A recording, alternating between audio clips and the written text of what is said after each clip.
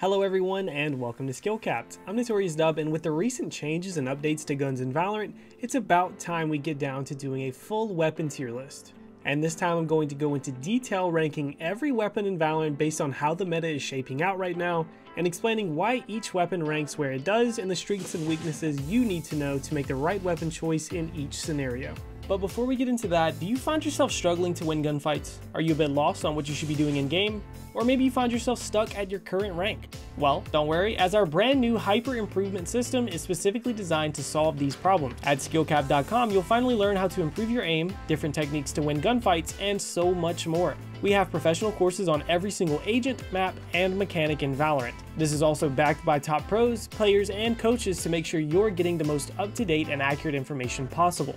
In fact, we're so confident that you'll improve using our system that we offer a rank improvement guarantee. Check it out yourself in the link below, simply put in what rank you're currently stuck at, and find out what rank you're guaranteed by using our system. So, what are you waiting for? Unlock your true potential and get the rank you've always wanted at skillcapped.com. Link is in the description below. Alright now, first up, starting with S tier, the most controversial weapon in the game, the Operator. Where previously this gun would have had a tier of its own in the overpowered category, I'd argue now that it's tied for the spot of the best gun in the game. Now the nerf really just made the operator a bit more clunky, less aggressive, and more difficult to get multi-kills with. But buying the operator still makes you good for one, meaning that you can hold an angle and still have a great chance of getting a pick before the other team even has a chance to pick you off. And the 5,000 credit price range does mean you have to be really rolling in the cash to be able to afford armor as well as abilities when you're buying this weapon, and it puts your team at risk of actually breaking your economy. So while it's still the best choice for getting the opening pick, it does have enough downsides at this point to make you think twice, and really as an attacker playing with the operator is just not quite as good as it used to be. Also occupying S tier, with the recent buffs we have the Vandal. Now, the Vandal at this point has a 0.02 second slower time to kill when hitting the body within 15 meters, but at every other range, the Vandal has a 0.06 second faster time to kill, where before the buff, the time to kill differences favored the Phantom. It now favors the Vandal. And yes, the Phantom does have a silencer that allows you to shoot through smoke without being spammed back as easily, but there is one thing that people overlook when it comes to the compatibility of the two weapons. The Vandal, at all ranges, takes 4 hits to kill to the body, and the Phantom, at farther than 15 meters, takes 5 hits to kill to the body. And with the recoil pattern becoming random and swaying left to right very heavily at random on the 10th shot and every shot after, the goal is to kill the person before you get past that 10th bullet. This means that with the Phantom you have to hit 50% of your bullets when spraying, but with the Vandal you only have to hit 40%. And the 10 shot spray pattern is almost exactly the same, but the Vandal goes slightly more vertical. So ultimately, it's just going to be easier to hit 4 shots in 10 with the Vandal than it is to hit 5 shots in 10 with the Phantom. And ultimately, for pure combat statistics, the Vandal outperforms the Phantom at almost every range and every encounter that you're going to run into. And next up, I think with no debate in S tier, we have the Judge. Now the Judge is one of the few guns that when the other teams hear it, will make them avoid that entire area of the map at all costs with essentially the killing power of a fully automatic operator at close range. Holding a close corner with a judge can get you pick after pick without giving the enemy time to actually trade you out. This makes this gun one of the best defender-sided guns on eco or otherwise as long as you're playing tight areas. And it's one of the best guns on attacker side if you're playing Jett or Raze and you're going for a fast pick with your mobility. And finally, in S tier, the Sova main's love child, the Odin. Now the Odin has almost the same body shot damage as the Phantom and the Vandal, with a higher fire rate, high wall penetration value, and 100 round magazine, and a laser over recoil pattern. Now the Odin is a wall bang machine, usually taking 5 hits to kill through a wall, giving you almost a one third of a second time to kill through most objects. Now the Odin, with knowledge of a couple of common wallbang spots, stops early round aggression and stands up toe to toe with Phantoms and Vandals in a one-on-one -on -one engagement as well. And then moving on to A tier, at the top of the list we have to have the Phantom. Now this gun is loved by most pros who hold or pressure sites instead of going for mid control and fast rotates. The Phantom also boasts a faster time to kill at very close ranges, and from there allows for faster, intense area multi-kills that can change the swing of rounds. Now, while the Phantom is the spray weapon of choice at over 30 meters, be careful not to get caught up in the common scenario where you need one more hit to kill the enemy, but you have no control of your recoil pattern at this point. By realizing that long range engagements aren't going to be your strength, you can take your shots, and if you don't get the kill, take some side steps to let your recoil reset and you can be safer and increase your odds of actually picking up that kill.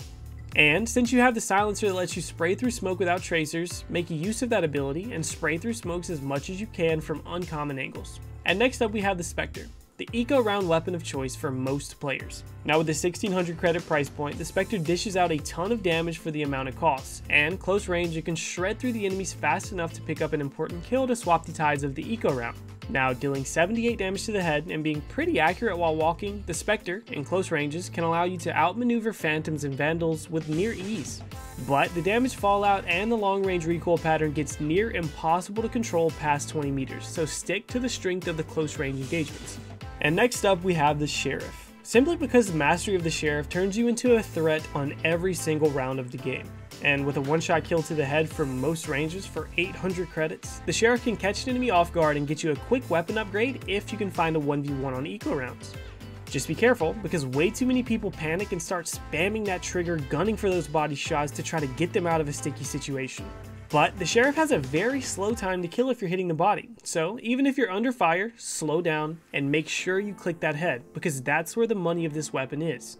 And next up we have the Shorty. For only 200 credits, you can buy this weapon on nearly any round of the game and give yourself a fighting chance.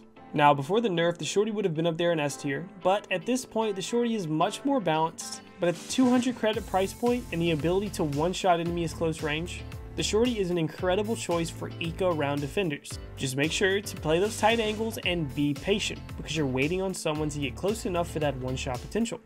Now next in the A tier we have the Ghost, because for 500 credits it's a decent eco round choice, but also the pistol round weapon of choice for good reason. At 105 headshot damage from under 30 meters, the Ghost will one-shot in most engagements that you get into, and compared to the Classic, has a very accurate first bullet, and the left-click spam is relatively accurate as well when compared to the other pistols. And on eco rounds, the Ghost guarantees the kill with two headshots and is accurate enough to play fast, take those strafe shots, and chip down the enemies who are just much slower with Vandals and Phantoms. And finally, barely hanging in at A tier, we have the Bulldog. Now this is strictly because of the 2100 price point, the Bulldog is the perfect weapon to pick up on round 2 with heavy armor to still be able to compete on round 3 against Vandals and Phantoms. Now this is not to mention that the 3 round burst can actually be very strong at lowering your time to kill, where you only need a headshot and one body shot for the kill at any range with the Bulldog. The 3 round burst also gets off the fastest 6 shots of any weapon in the game aside from the classic right click. This means that with some decent accuracy, and maybe even a little luck, you can do a ton of damage and pick up a few kills if you get the opportunity with the Bulldog's alternate fire burst ability. And starting off B tier, we have the Ares, now with a slower time to kill than the Spectre of the same price point, and a slower movement speed, the Ares does have an easier to control aiming down sights recoil pattern, a 50 round magazine, and a high wall penetration value. The Ares can shred enemies through walls just like the Odin can stop early round pressure from the enemies. And can serve as that long range laser of a weapon that you sometimes need on eco round. This gives the Ares a fighting chance at the go-to weapon of choice for eco rounds on defender side, where most people are still going to prefer the Spectre, and on attacker side, really the Ares is just a little too slow to make it viable compared to the Spectre. And moving on to the Classic, we have one gun that some people are going to argue is S tier.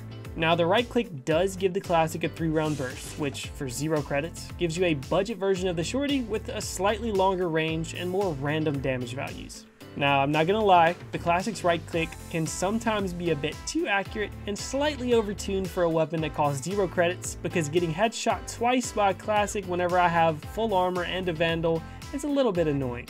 But the atrocious accuracy of the normal fire of the Classic makes up for the strength of the right click. From past 20 meters, if your crosshair is on the head of the enemy, you're still rolling the dice of whether or not you're going to be getting that hit.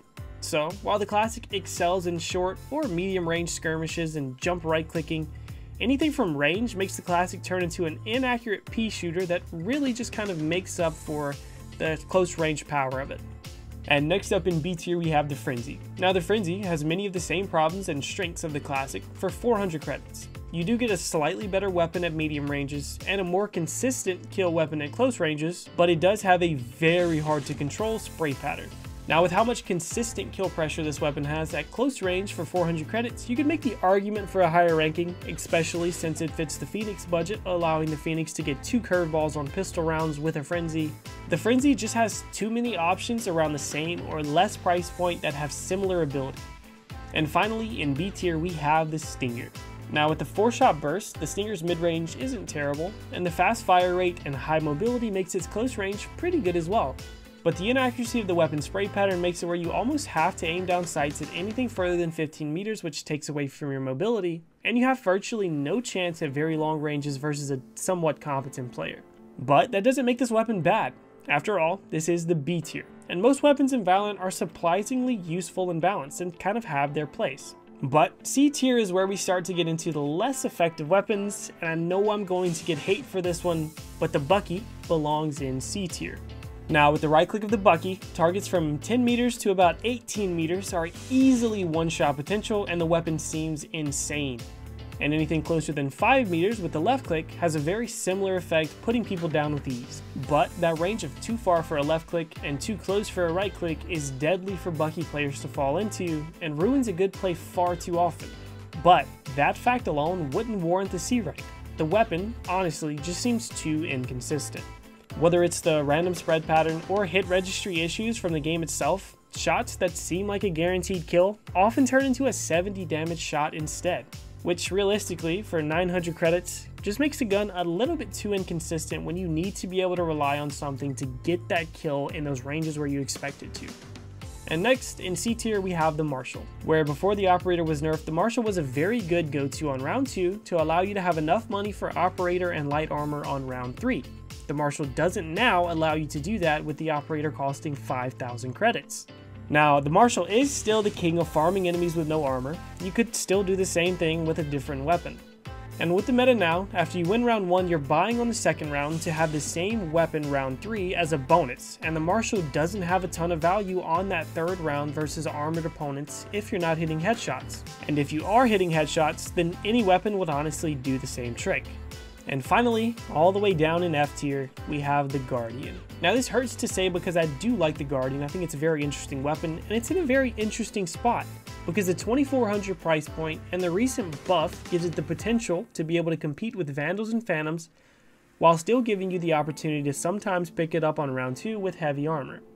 But even then, the Guardian feels like a stronger version of the Sheriff. While it has a faster fire rate, you still have to fire very slowly to keep your accuracy, so all in all, Valorant is just a very fast-paced game, and the slow shot requirement of the Guardian makes it a little bit too weak at long ranges if you're not hitting heads, too slow at short ranges when you're caught off guard, and still too expensive for eco rounds, and honestly just has no place in the meta currently.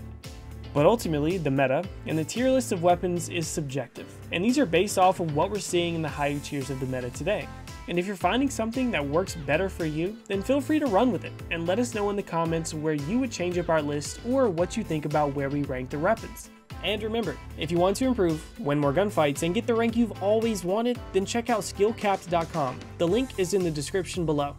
And before you go, make sure you hit that subscribe button and turn those notification bells on because we here at Skillcapped have a ton more comprehensive premium guides coming your way that you're going to want to stay up to date with so you can stay ahead of the pack. And as always, I want to thank you for spending this little bit of your day with us, and I'm Notorious Dub, signing off.